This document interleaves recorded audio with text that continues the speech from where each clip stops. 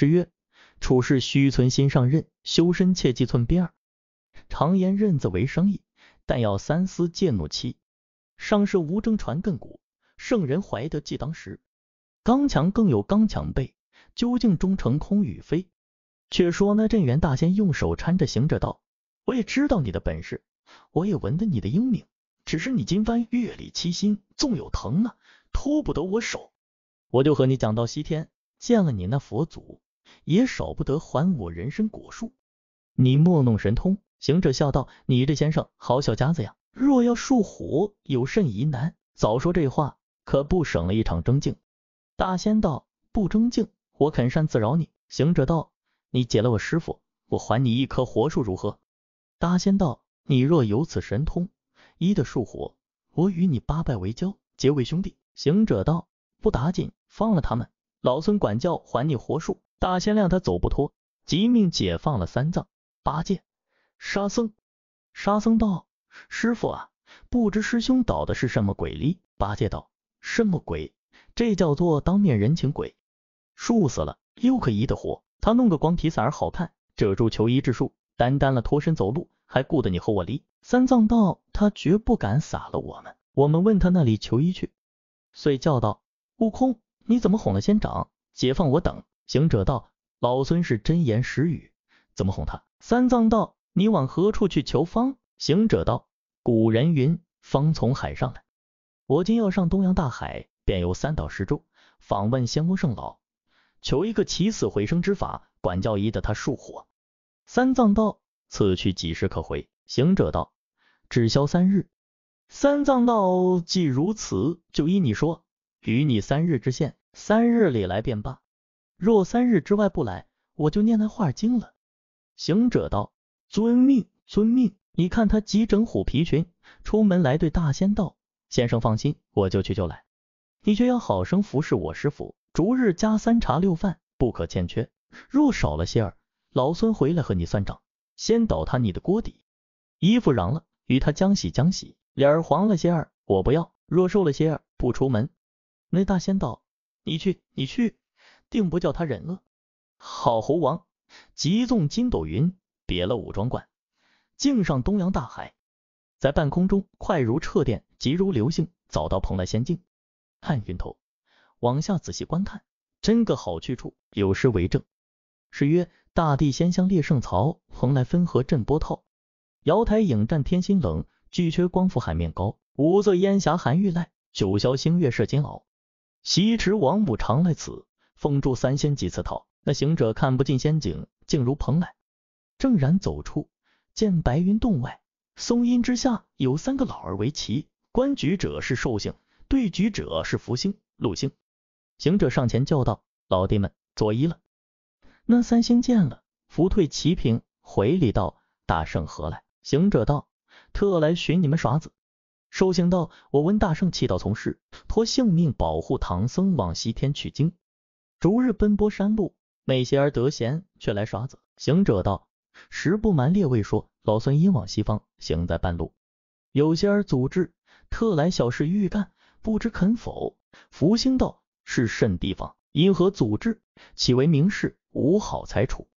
行者道：因路过万寿山五庄观有阻。三老惊讶道：五庄观是镇元大仙的仙宫，你莫不是把他人参果偷吃了？行者笑道：偷吃了能值甚吗？三老道：你这猴子不知好歹。那果子闻一闻，活三百六十岁，吃一个活四万七千年，叫做万寿草还丹。我们的道不及他多矣，他得之甚易，就可与天齐寿。我们还要养精炼气、存神、调和龙虎、捉砍天理，不知费多少功夫。你怎么说他的能值甚紧？天下只有此种灵根。行者道：灵根，灵根，我已弄了他个断根力。三老惊道：怎的断根？行者道：“我们前日在他关里，那大仙不在家，只有两个小童接待了我师傅，却将两个人参果奉与我师，我是不认的，只说是三朝未满的孩童，再三不吃，那童子就拿去吃了，不曾让到我们，是老孙就去偷了他三个，我兄弟三人吃了，那童子不知高低，贼前贼后的骂个不住，是老孙恼了，把他树打了一棍，推倒在地，树上果子全无，压开叶落，根出枝伤，已枯死了。不想那童子关注我们，又被老孙扭开锁走了。次日清晨，那先生回家赶来，问答间语言不合，遂与他赌斗，被他闪一闪，把袍袖展开，一袖子都拢去了，绳缠锁绑，拷问边敲，就打了一日。是夜又逃了，他又赶上，依旧龙去。他身无寸铁，只是把个竹尾遮架。我兄弟这等三般兵器，莫想打得住。他这一番仍旧摆布，将不裹欺了我师傅与两师弟，却将我下油锅。我又做了个脱身本事走了，把他锅都打破。他见拿我不住，竟有几分醋啊！是我又与他好讲，教他放了我师傅师弟，我与他医术管活，两家才得安宁。我想着方从海上来，故此特游仙境，访三位老弟，有甚医术的方儿，传我一个，急救唐僧脱苦。三星闻言，心中也闷道：你这猴全不是人。那镇元子乃地仙之祖，我等乃神仙之宗。你虽得了天仙，还是太乙散术，未入真流，你怎么拖得他手？若是大圣打杀了走兽飞禽，果虫临场，只用我熟米之丹，可以救活。那人参果乃仙木之根，如何医治？梅方，没方。那行者见说无方，却就眉峰双锁，额蹙千痕。福星道：大圣，此处无方，他处或有，怎么就生烦恼？行者道：无方别访，果然容易，就是游遍海角天涯，转透三十六天，已是小可。只是我那唐长老法言量窄，只予了我三日期限，三日以外不到。他就要念那紧箍咒力。三星笑道：“好，好，好！若不是这个法拘束你，你又钻天了。”寿星道：“大圣放心，不需烦恼。那大仙虽称上辈，却与我等有识，一则久别，不曾拜望；二来是大圣的人情，如今我三人同去望他一望，就与你到达此情。叫那唐和尚默念紧箍儿咒，休说三日五日，只等你求得方来，我们才别。”行者道：“感激，感激，就请三位老弟行行，我去也。”大圣辞别三星不提，却说这三星架起祥光，急往武庄馆而来。那关中和众人等忽听得长天鹤唳，原来是三老光临。但见那迎空皑皑祥光簇，小案纷纷相赋予，彩雾千条护羽衣，青云一朵擎仙足，青鸾飞，丹凤素羽，秀引香风满地铺。主杖玄龙喜笑声，浩然垂玉胸前伏。红颜欢悦更无忧，壮体雄威多有福。执星筹天海雾，腰挂葫芦并宝路。万骑千寻福寿长，十洲三岛随缘速。唐来世上送千祥，每向人间增百福。盖乾坤荣福禄，福寿无疆今喜得。三老承降叶大仙，福堂和气皆无极。内仙童看见，急忙报道。师傅，海上三星来了。真元子正与唐僧师弟闲叙，闻报即将接奉迎。那八戒见了寿星，近前扯住，笑道：“你这肉头老儿，许久不见，还是这般脱洒，帽也不戴个来。”遂把自家一个僧帽扑的套在他头上，扑着手呵呵大笑道：“好，好，好，真是加官进禄也。”那寿星将帽子关了，骂道。你这个憨货，老大不知高低。八戒道：“我不是憨货，你等真是奴才。”福星道：“你倒是个憨货，反敢骂人是奴才。”八戒又笑道：“既不是人家奴才，好到叫做天寿、天福、天禄。”那三藏喝退了八戒，即整衣拜了三星。那三星以晚辈之礼见了大仙，方才续坐。坐定，陆星道：“我们一向久过尊严，有失恭敬。”今因孙大圣搅扰仙山，特来相见。大仙道：“孙行者到蓬莱去的。”寿星道：“是因为伤了大仙的丹术，他来我处求方医治。我辈无方，他又到别处求方，但恐违了圣僧三日之限，要念紧箍咒。我辈一来奉拜，二来讨个宽限。”三藏闻言，连声应道：“不敢念，不敢念。”正说处，八戒又跑进来，扯住福星，要讨果子吃。他去袖里乱摸，腰里乱挖，不住的揭他衣服搜检。三藏笑道：“那八戒是什么规矩？”八戒道：“不是没规矩，此叫做翻翻是福。”三藏又敕令出去。那呆子足挖出门，瞅着福星，眼不转睛的发狠。福星道：“好货，我那里恼了你来？你这等恨我？”八戒道：“不是恨你，这叫回头望福。”那呆子出的门来，只见一个小童拿了四把茶匙，方去寻中取果看茶，被他一把夺过，跑上殿，拿着小磬儿，用手乱敲乱打，两头玩耍。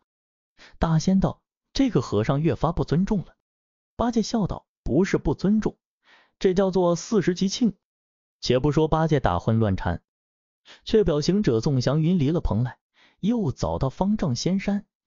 这山真好去处，有诗为证。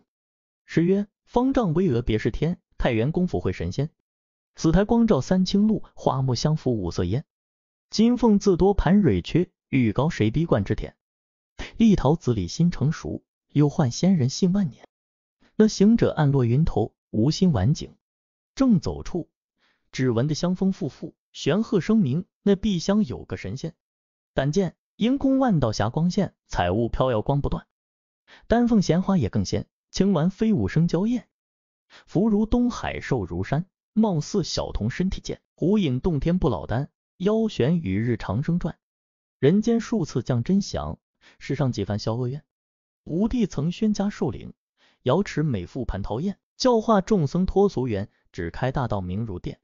也曾跨海周千秋，常去灵山参佛面，圣号东华大帝君，烟霞第一神仙眷。孙行者面面相迎，叫声。帝君起手了，那帝君慌忙回礼道：“大圣失迎，请皇居奉茶。”遂与行者搀手而入，果然是背缺仙宫，看不尽瑶池琼阁。方坐待茶，只见翠屏后转出一个童儿，他怎生打扮？身穿道服飘霞烁，腰束丝绦光错落，头戴冠巾不斗星，足蹬芒履游仙乐，炼元针托本壳。功行成实遂一乐，识破源流精气神，主人认得无虚错。陶明金喜寿无疆，夹子周天管不住。转回廊登宝阁，天上蟠桃三度木，缥缈香云出翠屏。小仙乃是东方朔。行者见了，笑道：“这个小贼在这里立。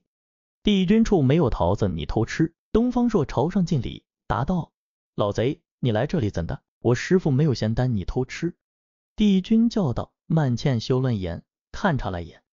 曼倩原是东方朔的道名，他即入里取茶二杯，饮气。行者道：“老孙此来有一事奉干，未知允否？”帝君道：“何事？自当领教。”行者道：“进阴宝唐僧西行，路过万寿山五庄观，因他那小童无状，是我一时发怒，把他人参果树推倒，一时阻滞，唐僧不得脱身，特来尊处求赐一方医治。”万望慨然，帝君道：“你这猴子不管一二，到处里闯祸。那武庄观镇元子，圣号与是同君，乃地仙之祖，你怎么就冲撞了他？他那人参果树乃草还丹，你偷吃了，上说有罪，却又连树推倒，他肯甘休？”行者道：“正是呢，我们走脱了，被他赶上，把我们就当汉奸儿一般，一袖子都拢去了，所以隔气。”莫奈何，许他求方医治，故此拜求。帝君道：“我有一粒九转太乙还丹，但能治世间生灵，却不能医术。树乃土木之灵，天资的润。若是凡间的果木，医治还可。这万寿山乃先天福地，五庄观乃贺州洞天，人参果又是天开地辟之灵根，如何可治？无方，无方。”行者道：“既然无方，老孙告别。”帝君仍欲留凤玉液一杯，行者道：“急就是紧，不敢久滞，遂驾云复至瀛洲海岛，也好去处。有诗为证：诗曰：朱树玲珑照紫烟，瀛洲宫阙接诸天。青山绿水奇花艳，玉叶昆华铁石坚。五色碧鸡啼海日，千年丹凤吸朱烟。世人往求湖中景，向外春光亿万年。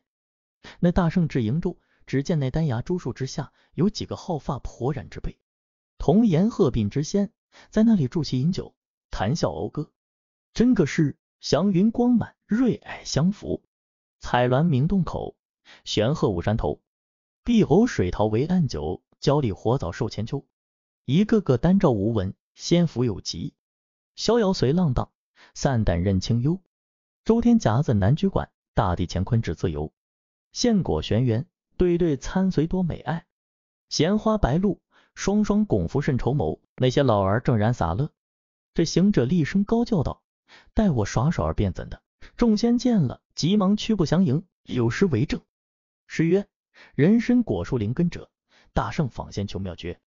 缭绕丹霞出宝林，瀛洲九老来相接。”行者认的是九老，笑道：“老兄弟们自在立。”九老道：“大圣当年若存正，不闹天宫，比我们还自在力。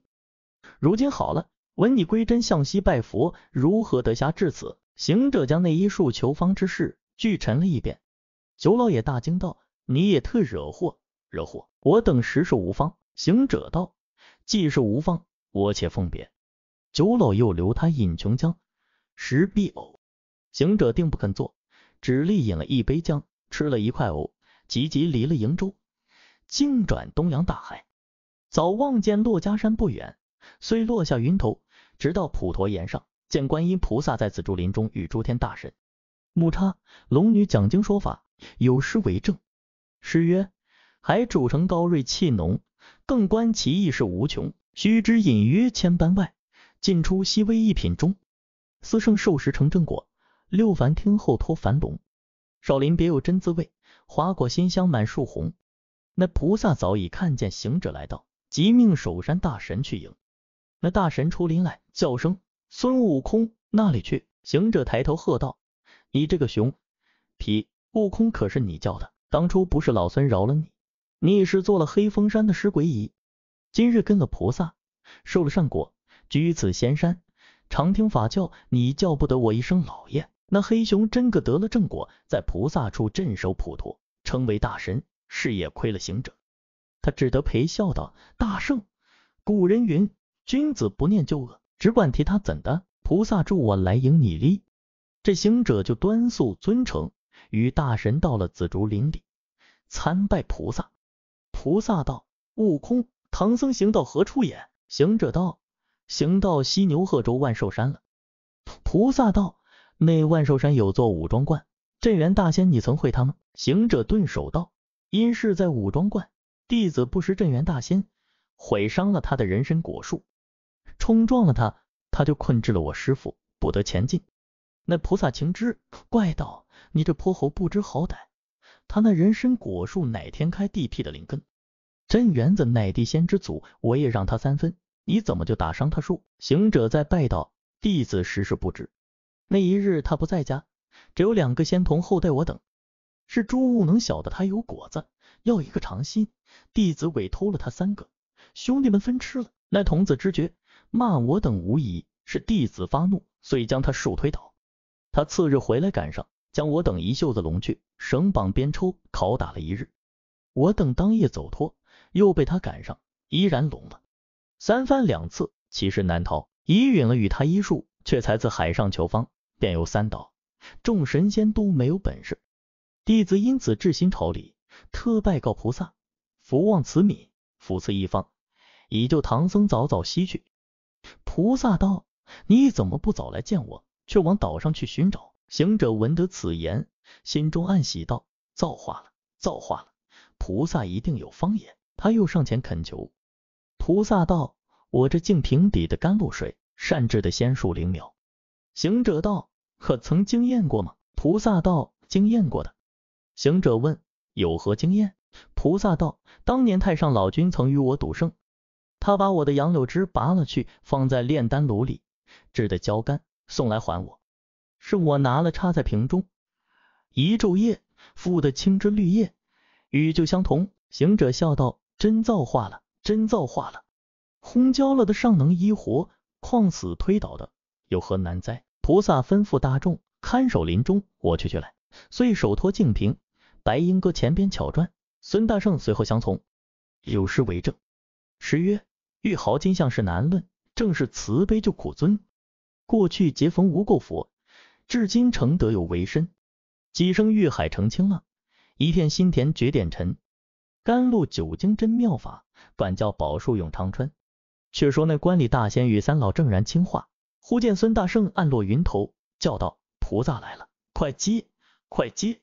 慌的那三星与镇元子共三藏师徒一齐迎出宝殿，菩萨才住了祥云，先与镇元子赔了话，后与三星作礼，礼毕上座。那阶前，行者引唐僧、八戒、沙僧都拜了。那关中诸仙也来拜见。行者道：“大仙不必迟疑，趁早儿陈设香案，请菩萨替你治那什么果树去。”大仙躬身谢菩萨道：“小可的够当，怎么敢劳菩萨下降？”菩萨道：“唐僧乃我之弟子，孙悟空冲撞了先生，理当赔偿宝树。”三老道：“既如此，不需牵讲了，请菩萨都到园中去看看。”那大仙即命侍去香案，打扫后园，请菩萨先行。三老随后，三藏师徒与本观众先都到园内观看时，那棵树倒在地下，吐开根线，叶落之枯。菩萨叫：“悟空，伸手来！”那行者将左手伸开。菩萨将杨柳枝蘸出瓶中甘露，把行者手心里画了一道起死回生的福字，叫他放在树根之下，但看水出为度。那行者捏着拳头往那树根底下揣着，须臾有清泉一汪。菩萨道：“那个水不许犯五行之气，需用玉瓢舀出，扶起树来，从头浇下，自然根皮相合，叶长芽生，至青果出。”行者道：“小道士们，快取玉瓢来。”镇元子道：“贫道荒山没有玉瓢，只有玉茶盏、玉酒杯，可用的吗？”菩萨道：“但是玉器，可舀得水的便罢。取将来看。”大仙即命小童子取出有二三十个茶盏、四五十个酒盏，却将那根下清泉舀出。行者、八戒、沙僧扛起树来，扶得周正，拥上土，将玉器内甘泉一瓯瓯捧与菩萨。菩萨将杨柳枝细细撒上。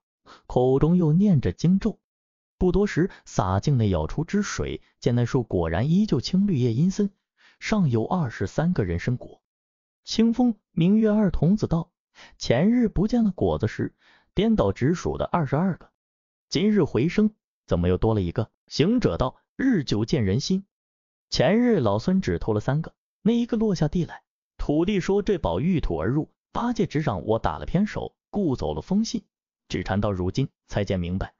菩萨道：“我方才不用五行之气者，知道此物与五行相位故耳。”那大仙十分欢喜，即令取金鸡子来，把果子敲下十个，请菩萨与三老复回宝殿，一则谢劳，而来做个人参果会。众小仙遂调开桌椅，铺设单盘，请菩萨坐了上面正席，三老左席，唐僧右席，镇元子前席相陪，各拾了一个，有诗为证。诗曰：万寿山中古洞天，人参一熟九千年。